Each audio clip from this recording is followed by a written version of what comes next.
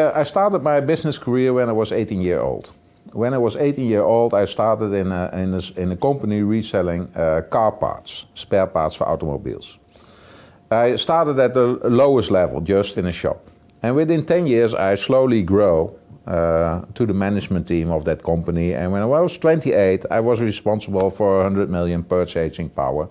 We had 120 stores all over the Netherlands, and we had a very good company where I worked for. And uh, I really liked that. Afterwards, I went to Volkswagen Audi. I was president of several dealerships, leasing company, finance company, and uh, I really loved that job. In that time, because when you are growing that fast in your life and you are young, you become arrogant. You think you are God in your own world, uh, you can do everything, you have nice holidays, you party, you have good friends. And at one evening, I came at home, and then my wife said to me, When you maintain this lifestyle, we will probably get divorced. I said, What are you talking about? You get a lot of money, we have holiday, you receive the car for your birthday, so what, is, what is the problem? And I didn't understand the problem. And then she said, You live as a God in your own world. You don't care about people. You don't care about me. You only love me because what I give you. You give, uh, I give you upbringing for the children. I give you a nice home. I clean the home. Uh, I do everything for you. But you can also uh, uh, rent a, or hire a housekeeper. She will do the same. Do you still love me? What is love to you? And then I realized that she was true and that all my relationship were changed. Customers became profit. Employees were costs. Friends were a good time. My wife was for good sex, networking, having a nice home, good upbringing from the children. And the whole world was about me, myself, and I.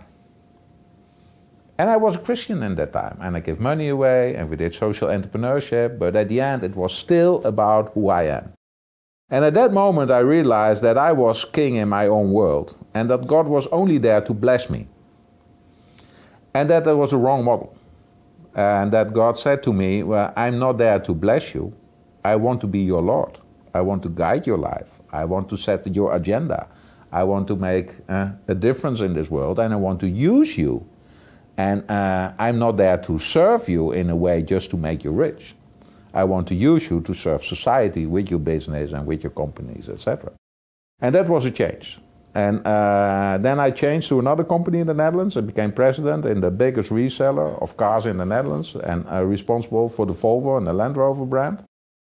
And when I was 42, I became president of CMC Netherlands with that perspective that we, as we should change business culture from living for yourself to serving society and serving the clients and serving the stakeholders. That still took a long time for me to understand. Yeah, there, there happened all kind of, personal stories within. Uh, my wife was there. My father was asking me, "You going to church?" But when I see you live, I don't understand where you're going. So you can do business in two ways.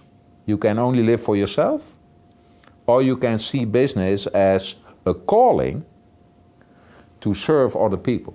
And first you serve the client, and out of the client you serve your employees, and you serve your suppliers, and you serve society, but you are a servant from God to serve society and business. And that's a different perspective. And when we can get have that perspective of this serving attitude towards society and towards all the stakeholders of the company, it will change business and then no one can be against you. All the preachers or all the uh, the vicars or all the pastors who say business is bad, they they can hardly argue that business is bad when you serve everyone and, and doing well.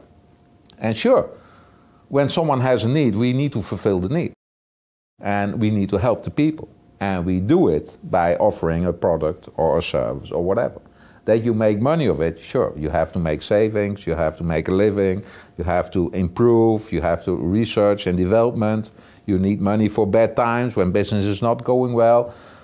Uh, that, that is not the problem. The problem is in, in the Bible never that you make money, but when you have money, what you do with it, and how you spend it, and how you invest it.